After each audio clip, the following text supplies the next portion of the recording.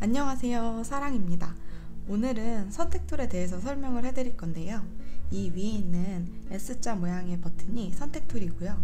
선택 툴의 기능으로는 선택한 특정 부분만 잘라내기, 복사, 붙여넣기를 할 수도 있고 색이라든지 채도 명도를 바꿀 수 있어서 아주 많이 쓰이는 툴인데요. 지금부터 자세히 알려드릴게요 선택 버튼을 눌러보면 자동, 물감이, 직사각형 타원이라고 뜨는데요. 자동 기능에 대해서 먼저 설명을 해드릴게요. 자동 기능은 선택하고 싶은 부분을 이렇게 터치를 해주면 선택된 부분이 보색으로 바뀌면서 선택이 되는데요. 이때 확대를 해서 보시면 어, 선택이 덜 돼서 파란색이 남아있는 걸 보실 수 있으세요. 이 상태에서 펜을 화면에 대고 좌우로 움직이다 보면 위쪽에 선택 한계값이라고 뜨는데 어, 이때 좌우로 펜을 움직이면서 선택 범위를 조정하시면 되세요.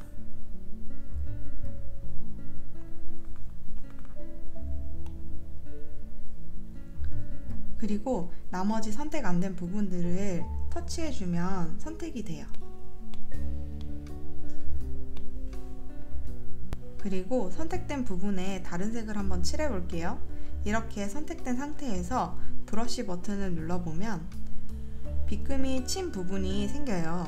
이렇게 빗금이 쳐진 부분은 선택이 안 된 부분이고 빗금이 쳐져 있지 않은 부분이 선택이 된 건데요. 이렇게 선택된 곳에 바꾸고 싶은 색을 가져와서 펜을 떼지 않고 3초 정도 있으면 위에 색상 드롭 한계값이라는 게 생겨요.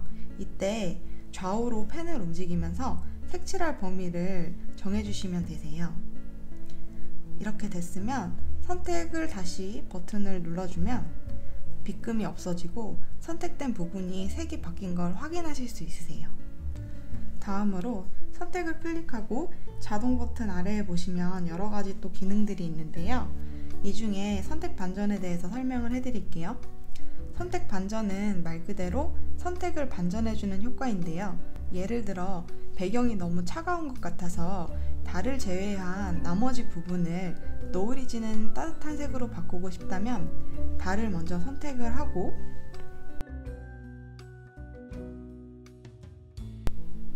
반전을 누르고 브러쉬를 눌러보면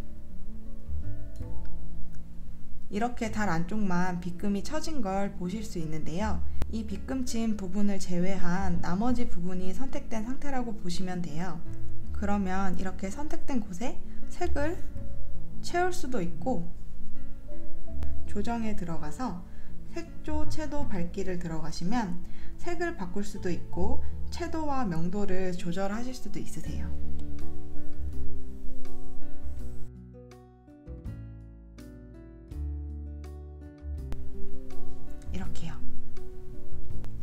이 아래 보시면 콘텐츠 복제라고 있는데 콘텐츠 복제는 선택된 부분을 복제해주는 기능이고요. 새를 선택하고 콘텐츠 복제를 누르면 레이어에 한번 들어가서 보시면 이렇게 선택된 새만 복제가 돼서 레이어가 새로 생성된 걸 보실 수 있으세요. 이렇게 복제된 새는 변형 툴을 이용해서 크기와 위치 조절이 가능해요. 변형 툴을 클릭하고 새를 여기에 옮겨서 사이즈를 변경해 볼게요.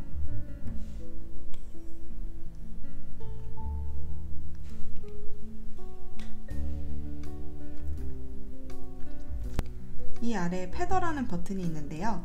feather는 선택된 주변을 뿌옇게 해주는 기능인데 이렇게 새를 선택을 하고 feather를 클릭해주면 아래에 양이라고 있어요. 이 양을 좌우로 움직여서 feather 값을 조정하고 콘텐츠 복제를 클릭을 해주면 나머지 레이어를 한번 꺼볼게요. 이렇게 새 주변으로 뿌옇게 복제된 것을 보실 수 있으세요. 그리고 마지막으로 지우기 버튼이 있는데요. 이 지우기는 선택 취소인데 예를 들어 제가 새를 선택을 하고 지우기를 클릭하면 이렇게 선택한 것이 사라져요. 자동 버튼 옆에 보시면 올가미, 직사각형, 타원 버튼이 있는데요. 이런 것들은 사실 선택하는 방식만 다른 것 뿐이지 이 아래에 있는 기능들은 모두 동일하고요. 올가미 툴에 대해서 설명을 해드릴게요. 올가미 툴은 내가 원하는 모양대로 선택을 해주는 툴인데 이렇게 드로잉 하듯이 곡선으로 선택이 가능하고 중간에 콕, 콕 찍으면 직선으로 선택이 가능해져요. 그러다가 다시 이렇게 드로잉 하듯이 선택이 가능하고요. 이렇게 쭉 가다가 회색 동그라미가 있는 곳에 갔을 때 한 번 더 클릭을 해주면 파란색 동그라미로 바뀌면서 선택이 돼요. 또는 이렇게 모양을 그리고 아래 있는 선택 추가 버튼을 누르면 추가가 되고요.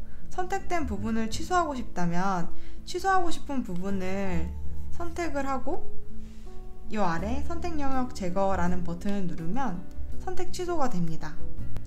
직사각형은 그리면 자동으로 선택이 추가가 되고요. 선택 취소를 하고 싶을 땐 선택 취소하고 싶은 부분을 선택을 하고 펜을 떼지 않은 상태에서 선택 영역 제거라는 버튼을 눌러줘요. 그러면 취소할 영역에 이렇게 비금이 생기는데요. 이때 펜을 떼지 않고 대각선 반대 방향으로 밀어주면 선택 취소가 돼요. 여기서 포인트는 네모 외곽에 있는 이 점선이 빗금이 쳐진 네모 밖으로 나오게 해서 펜을 떼야 제대로 취소가 되는 건데요.